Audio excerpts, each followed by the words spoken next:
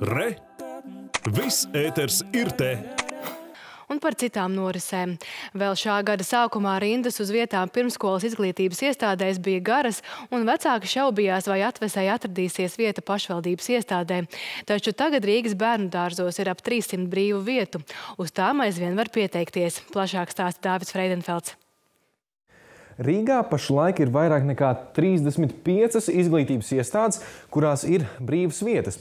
Konkrēti šajā izglītības iestādē brīvu vietu ir 32. Rīgas pirmskolas izglītības iestādē Kurzeme skaidro, ka brīvās vietas veidojas, jo komplektējot jaunās grupiņas, daļai vecāku sagaidītā vieta rindā vairs nav vajadzīga. Tad, kad bērni piedzimst, vecāki bērnus reģistrē sev vēlamajos pirmskolās rindās.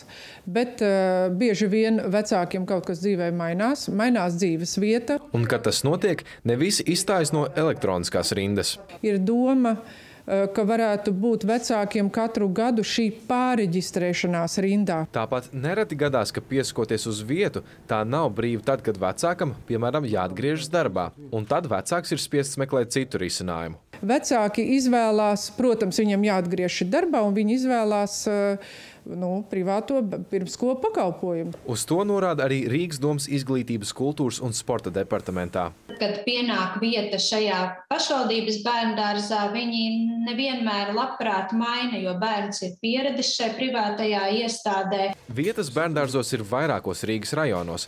Departamentā saka, ka šis nav pirmais mācību gads, kurš iesācies ar brīvām vietām. Pēdējos gadus mēs esam novērojuši, ka tieši tad, kad komplektējas grupas, kad mums bērndārzos parādās šīs brīvās vietas, un šāda situācija jau ir novērojama vismaz trešo gadu vai pēdējos pāris gadus kad šīs brīvās vietas ir, bet, protams, mācību gada laikā viņas aizpildās. Uz brīvajām 300 vietām Rīgas pašvaldības bērndārzos vecāki var pieteikties sazinoties ar Rīgas domas izglītības, kultūras un sporta departamentu vai konkrēto iestādi, kurā kādu iemeslu dēļ vieta atbrīvojusies. Dāvids Fredenfelds, Aigars Kovaļevskis, Latvijas